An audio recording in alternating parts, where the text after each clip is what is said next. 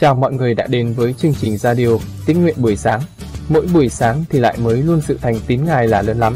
Lời Chúa là thức ăn thuộc linh cho chúng ta mỗi ngày để đắc thắng cám dỗ tội lỗi xác thịt xung quanh chúng ta. Ngài bổ lại linh hồn bạn, dẫn bạn vào các lối công bình. Vì cớ danh Ngài, Chúa thêm sức mới cho bạn. Chúa thêm lên cho bạn đức tin. Mỗi ngày càng gần Chúa và giống Chúa hơn và có mối quan hệ mật thiết với Chúa mỗi ngày. Chúa yêu bạn rất nhiều. Chương 18 Cách lâu ngày, trong năm thứ ba, có lời của Đức Giê-hô-va phán dạy Eli rằng: Hãy đi ra mắt Ahab, ta sẽ khiến mưa sa xuống đất. Vậy Eli đi ra mắt Ahab. Và tại Samari có cơn đói kém quá đổi. Ahab sai gọi Abdia là quan gia tể mình. Abdia rất kính sợ Đức Giê-hô-va. Xảy ra khi Giê-sa-bên diệt hết các đấng tiên tri của Đức Giê-hô-va, thì Abdia có đem 100 đấng tiên tri đi giấu trong hai hang đá, mỗi hang 50 người, dùng bánh và nước mà nuôi họ. Ahab nói với Abdia rằng, hãy đi khắp xứ, xem hết thảy các suối và khe. Có lẽ chúng ta sẽ tìm được cỏ và cứu cho ngựa và la còn sống. Không phải diệt hết các súc vật ta chăng? Vậy, hai người chia xứ đặng đi tuần. Ahab đi một mình con đường này và Abdia đi một mình con đường kia. Abdia đang đi đường thì gặp Eli ra đón mình.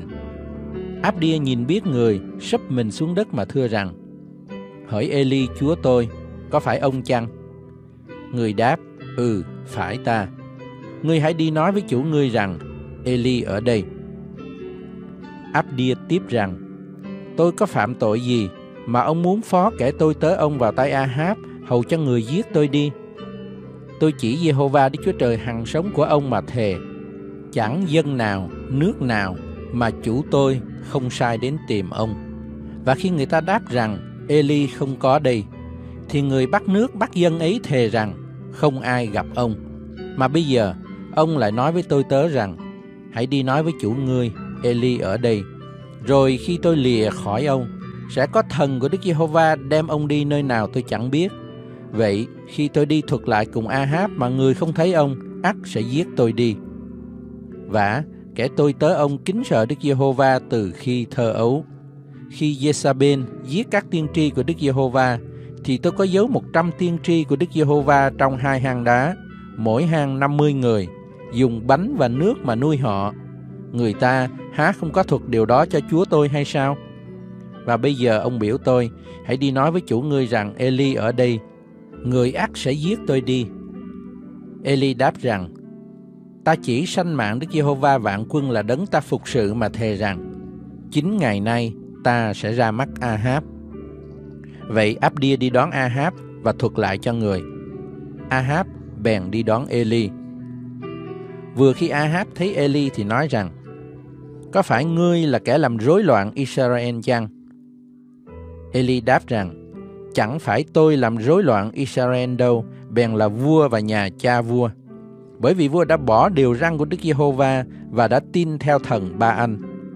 Vậy bây giờ, vua hãy sai người đi nhóm cả Israel với 450 tiên tri của Ba Anh và 400 tiên tri của ác tạc tê, ăn tại bàn Giê-sa-bên, khiến họ đến cùng tôi trên núi Cạc Men. Vậy, Ahab sai người đi nhóm cả dân Israel và những tiên tri đến núi Cạc Men. Đoạn Eli đến trước mặt dân sự mà nói rằng, các ngươi đi dẹo hai bên cho đến chừng nào? Nếu Jehovah là Đức Chúa Trời khá theo Ngài, nếu ba anh là Đức Chúa Trời, hãy theo hắn. Song dân sự không đáp một lời. Bây giờ Eli nói với dân sự rằng, trong vòng những tiên tri của Đức Giê-hô-va, chỉ một mình ta còn lại, còn các tiên tri ba anh số là 450 người. Vậy, hãy cho chúng ta hai con bò đực. Họ phải chọn một con cho mình, xả ra từ miếng, sắp để trên củi, nhưng chớ châm lửa. Còn ta, ta sẽ làm con bò kia, để nó trên củi nhưng không châm lửa. Đoạn, hãy kêu cầu danh của thần các ngươi, còn ta, ta sẽ kêu cầu danh của Đức Giê-hô-va. Thần đáp lời bằng lửa, ấy quả là Đức Chúa Trời. Cả dân sự đều đáp rằng, lời nói rất phải. Eli bèn nói với những tiên tri ba anh rằng, hãy chọn một con bò đực làm nó trước đi vì các ngươi đông, rồi hãy cầu khẩn danh của thần các ngươi, nhưng chớ châm lửa. Vậy, chúng bắt con bò mà người ta đã ban cho mà làm nó, rồi từ sớm mai đến trưa, chúng cầu khẩn danh của ba anh và rằng, hỏi ba anh, xin đáp lời chúng tôi. Nhưng chẳng có tiếng gì, cũng chẳng ai đáp lời. Chúng đều nhảy chung quanh bàn thờ mình đã dựng lên. Khi đã đến trưa, Eli nhạo chúng mà rằng, khá la lớn lên đi, vì người là thần, hoặc người đang suy gẫm, hoặc ở đâu xa, hoặc đang đi đường, hay là có lẽ người ngủ và sẽ thức dậy. Vậy chúng kêu lớn tiếng và theo thói lệ họ, lấy gươm giáo gạch vào mình cho đến chừng máu chảy ra. Khi quá trưa rồi, họ cứ nói tiên tri như vậy cho đến giờ dân của lễ chay ban chiều, nhưng vẫn không có tiếng gì, chẳng ai đáp lời, cũng không cố ý đến. Bây giờ Eli nói với cả dân sự rằng, hãy đến gần ta. Dân sự bèn đến gần người. Đoạn, Eli sửa lại cái bàn thờ của Đức Giê-hô-va bị phá hủy. Người lấy 12 hòn đá theo số 12 chi phái của các con trai Gia-cốp là người mà lời của Đức Giê-hô-va đã phán cho rằng Israel sẽ là tên người. Người dùng 12 hòn đá ấy mà dựng lên một cái bàn thờ nhân danh Đức Giê-hô-va. Chung quanh bàn thờ, người đào một cái mương đựng được hai đấu hột giống. Rồi chất củi, xả bò tơ ra từ miếng và sắp nó lên trên củi. Kế người nói, hãy múc đầy bốn bình nước và đem đổ trên của lễ thiêu và củi.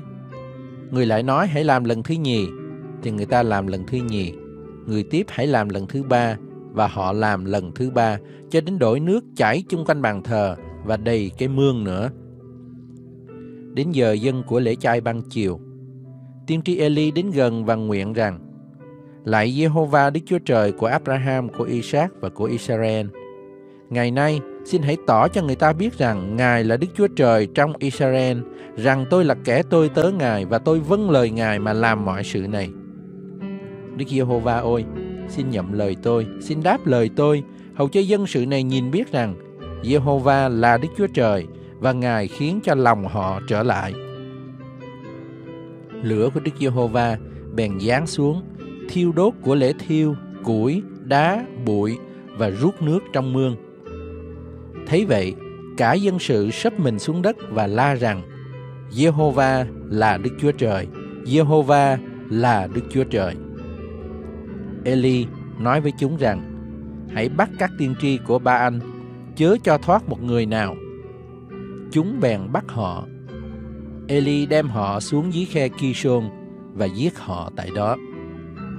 Đoạn Eli nói cùng Ahab rằng hãy đi lên ăn và uống vì tôi đã nghe tiếng mưa lớn. Vậy Ahab trở lên đặng ăn uống. Nhưng Eli leo lên chót núi Cạc Mên, cúi xuống đất và úp mặt mình giữa hai đầu gối. Đoạn người nói với kẻ tôi tớ mình rằng, xin hãy đi lên, ngó về phía biển. Kẻ tôi tớ đi lên xem nhưng nói rằng không có chi hết. Eli lại nói, hãy trở lên bảy lần. Lần thứ bảy, kẻ tôi tớ đáp rằng, Tôi thấy ở phía biển lên một cụm mây nhỏ như lòng bàn tay. Eli bèn tiếp, hãy đi nói với Ahab rằng, hãy thắng xe và đi xuống kẻo mưa cầm vua lại chăng. Trong một lúc, trời bị mây che đen, gió nổi dậy và có cơn mưa rất lớn. Ahab bèn lên xe mình, đi đến Gitreen. Tay Đức Giê-hô-va giáng trên Eli, người thắt lưng, chạy trước Ahab cho đến khi tới Gitreen. Chương 9 Đức Chúa Giêsu nhóm họp 12 sứ đồ, ban quyền năng phép tắc để trị quỷ chữa bệnh. Rồi Ngài sai đi rao giảng về nước Đức Chúa Trời cùng chữa lành kẻ có bệnh. Ngài dạy rằng, đi đường chớ đem gì theo hết, hoặc gậy, hoặc bao, hoặc bánh, hoặc tiền bạc. Cũng đừng đem hai áo. Hãy các ngươi vào nhà nào, hãy ở đó cho đến khi đi. Còn ai không tiếp rước các ngươi hãy ra khỏi thành họ và phủi bụi chân mình để làm chứng nghịch cùng họ. Vậy các sứ đồ ra đi, từ làng này tới làng kia, rao giảng tin lành khắp nơi và chữa lành người có bệnh. Bây giờ, Herod là vua chư hầu, nghe nói về các việc xảy ra thì không biết nghĩ làm sao. Vì kẻ này nói rằng Giăng đã từ kẻ chết sống lại, kẻ khác nói rằng Eli đã hiện ra và kẻ khác nữa thì rằng một trong các đấng tiên tri đời xưa đã sống lại. Song Herod thì nói, ta đã truyền chém gian rồi, vậy người này là ai mà ta nghe làm những việc dường ấy? Vua bèn tìm cách thấy Đức Chúa Giêsu. Các sứ đồ trở về trình cùng Đức Chúa Giêsu mọi việc mình đã làm. Ngài bèn đem các sứ đồ đi tẻ ra với mình đến gần thành kia gọi là Bethsaida. Nhưng dân chúng nghe vậy thì đi theo Ngài. Đức Chúa Giêsu tiếp đãi dân chúng, giảng cho họ về nước Đức Chúa Trời và chữa cho những kẻ cần được lành bệnh. Khi gần tối, 12 sứ đồ đến gần Ngài mà thưa rằng Xin truyền cho dân chúng về để họ đến các làng các ấp xung quanh mà trọ và kiếm chi ăn Vì chúng ta ở đây là nơi vắng vẻ Song Ngài phán rằng Chính các ngươi hãy cho họ ăn các sứ đồ thưa rằng Ví thử chính mình chúng tôi không đi mua đồ ăn cho hết thảy dân này Thì chỉ có năm cái bánh và hai con cá mà thôi và bây giờ có độ 5.000 người nam ở đó. Ngài bèn phán cùng môn đồ rằng, hãy biểu chúng ngồi từng hàng 50 người. Môn đồ làm theo lời, chúng ngồi xuống hết thảy. Đoạn Đức Chúa Giêsu lấy năm cái bánh và hai con cá, ngước mắt lên trời, chúc tạ, rồi bẻ ra trao cho môn đồ đặng phát cho đoàn dân. Ai nấy ăn no rồi, người ta thâu được 12 giỏ đầy những miếng thừa. Một ngày kia, Đức Chúa Giêsu đang cầu nguyện riêng. Môn đồ nhóm lại xung quanh Ngài. Ngài hỏi rằng, trong dân chúng họ nói ta là ai? Thưa rằng người này nói là Giăng Bắp Tít, người kia nói là Eli, kẻ khác nói là một trong các đấng tiên tri đời xưa sống lại. Ngài lại hỏi rằng, còn về phần các ngươi thì nói ta là ai? Pierre thưa rằng, Thầy là đấng Christ của Đức Chúa Trời. Đức Chúa Giêsu nghiêm cấm môn đồ nói sự ấy với ai và phán thêm rằng Con người phải chịu nhiều điều khốn khổ, phải bị các trưởng lão, các thầy tế lễ cả và các thầy thông giáo bỏ ra, phải bị giết, ngày thứ ba phải sống lại. Đoạn Ngài phán cùng mọi người rằng Nếu ai muốn theo ta, phải tự bỏ mình đi, mỗi ngày vác thập tự giá mình mà theo ta. Vì ai muốn cứu sự sống mình thì sẽ mất còn ai vì cớ ta mất sự sống thì sẽ cứu. Nếu ai được cả thiên hạ mà chính mình phải mất hoặc hư đi thì có ích gì? Vì nếu ai hổ thẹn về ta và lời ta thì con người sẽ hổ thẹn về họ khi Ngài ngự trong sự vinh hiển của mình, của cha và của thiên sứ thánh mà đến. Quả thật, ta nói cùng các ngươi, một vài người trong các ngươi đương đứng đây sẽ không chết trước khi chưa thấy nước Đức Chúa Trời. Độ 8 ngày sau khi phán các lời đó, Đức Chúa Giêsu đem Phi-e-rơ, Giăng và Gia-cơ đi với mình lên trên núi để cầu nguyện. Đang khi cầu nguyện, diện mạo Ngài khác thường, áo Ngài trở nên sắc trắng chói lòa. Và này, có hai người nói chuyện cùng Ngài, ấy là Môi-se và Eli hiện ra trong sự vinh hiển và nói về sự Ngài qua đời là sự sẽ phải ứng nghiệm tại thành Jerusalem. Phi-a-rơ cùng đồng bạn mình buồn ngủ lắm, nhưng vừa tỉnh thức ra thấy vinh hiển của Đức Chúa Giêsu và hai đấng ấy đứng gần Ngài. Lúc hai đấng ấy lìa khỏi Đức Chúa Giêsu, Phi-a-rơ thưa Ngài rằng: Thưa thầy, chúng ta ở đây tốt lắm. Hãy đóng ba trại, một cái cho thầy, một cái cho Môi-se và một cái cho Eli. Vì Phi-a-rơ không biết mình nói chi. Khi người còn đang nói, có một đám mây kéo đến bao phủ lấy, và khi vào trong đám mây, các môn đồ đều sợ hãi.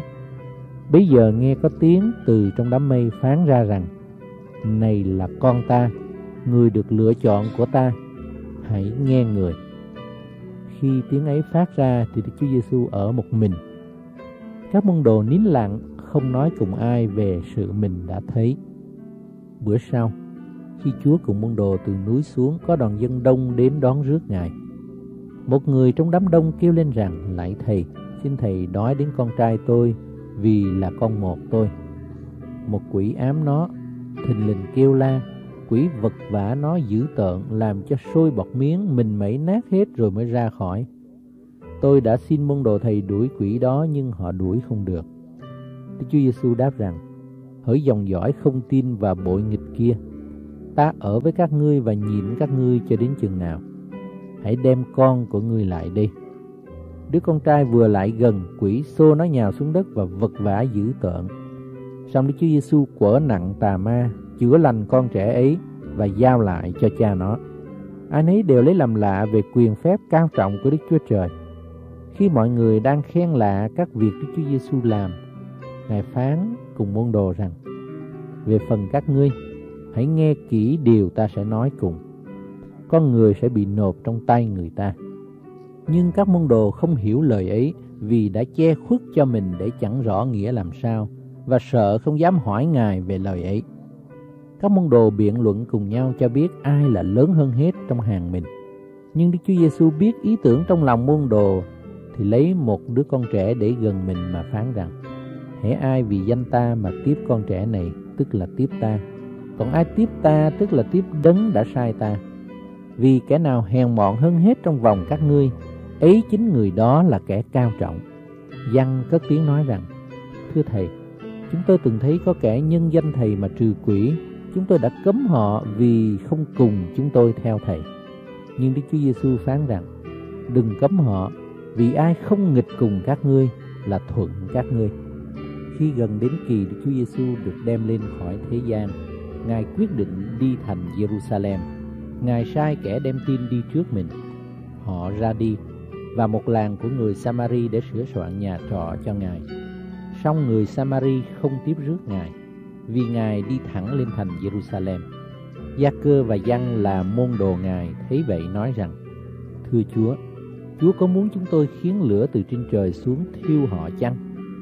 Nhưng Chúa Giêsu xây lại quở hai người mà rằng Các ngươi không biết tâm thần nào xui dục mình Rồi Ngài cùng môn đồ đi qua làng khác Đang khi đi đường Có kẻ thưa Ngài rằng Chúa đi đâu tôi sẽ theo đó Đức Chúa Giêsu đáp rằng Con cáo có hang Chim trời có ổ song con người không có chỗ mà gối đầu Ngài phán cùng kẻ khác rằng ngươi hãy theo ta. Kẻ ấy thưa rằng, xin cho phép tôi đi chôn cha tôi trước đã.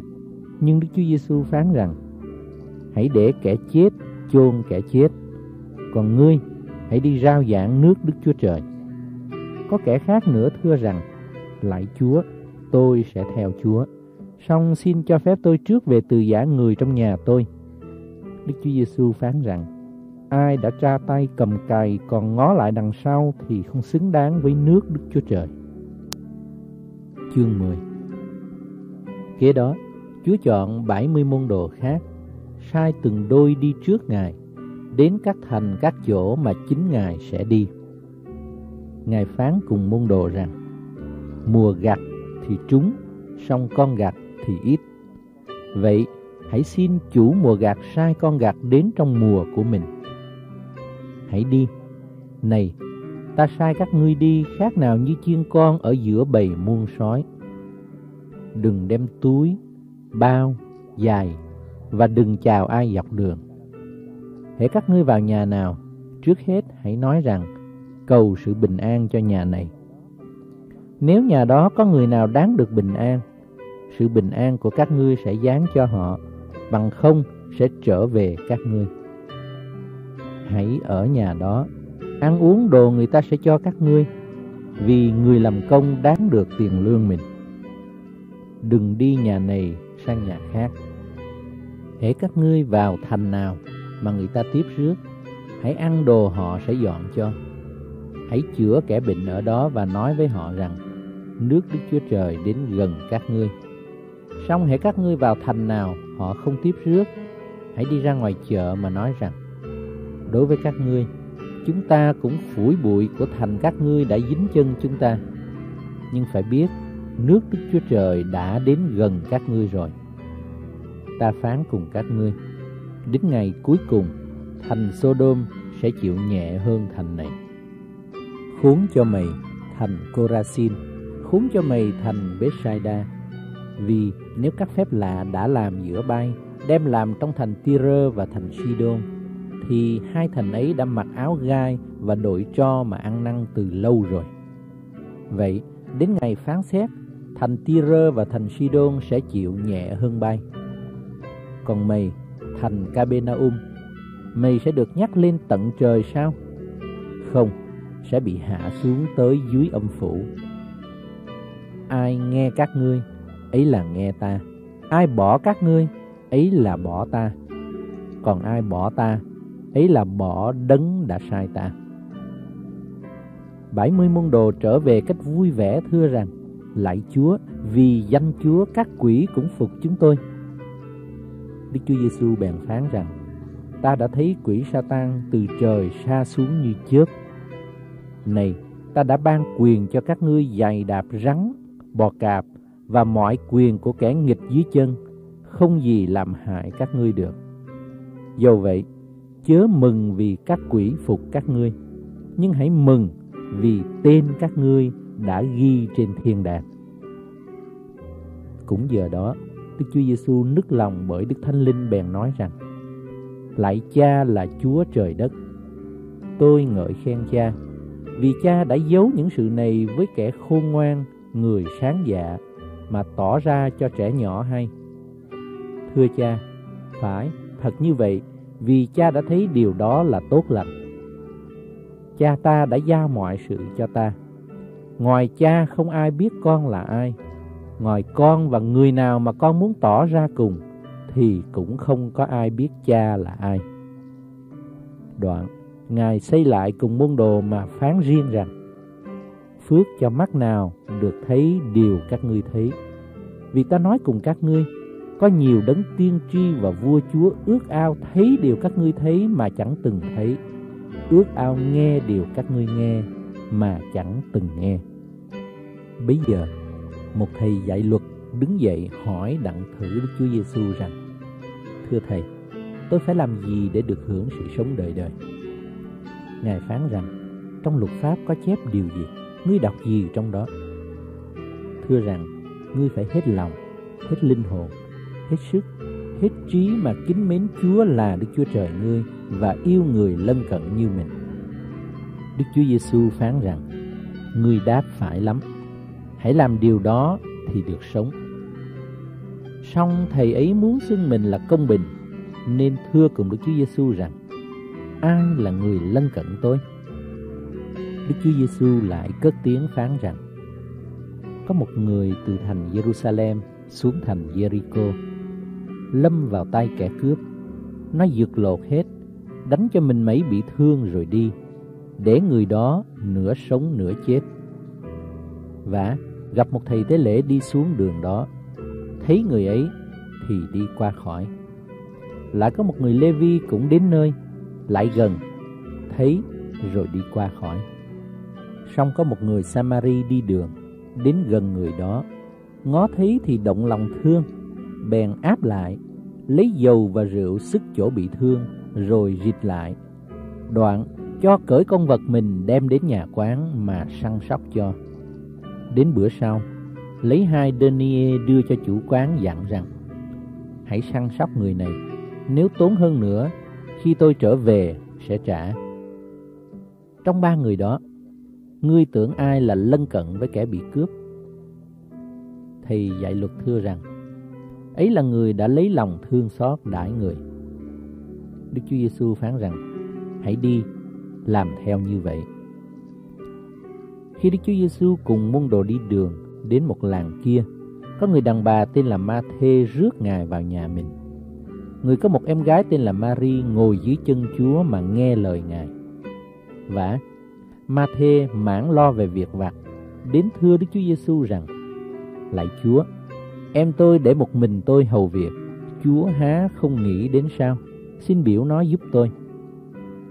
Chúa đáp rằng: Hỡi Ma Thê, Ma Thê, ngươi chịu khó và bối rối về nhiều việc, nhưng có một việc cần mà thôi. Mary đã lựa phần tốt, là phần không có ai cất lấy được. Thi Thiên 100 Hỡi cả trái đất, hãy cất tiếng reo mừng cho Đức Giê-hô-va.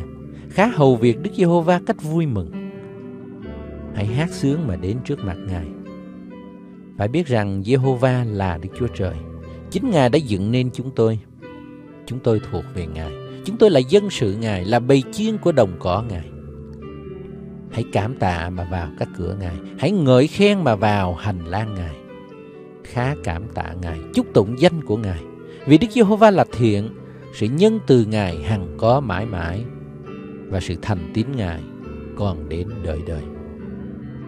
Cảm ơn Chúa lời của Ngài bày tỏ cho con. Thì giờ này chúng ta đến với Chúa trong sự cầu nguyện.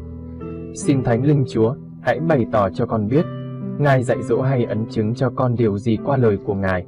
Xin lời của Ngài được linh hồn con ăn nuốt vào trong tấm lòng và tâm trí của con mỗi ngày thêm lên lời của Ngài, để linh hồn con được tăng trưởng, thêm lên đức tin đặt để nơi Ngài.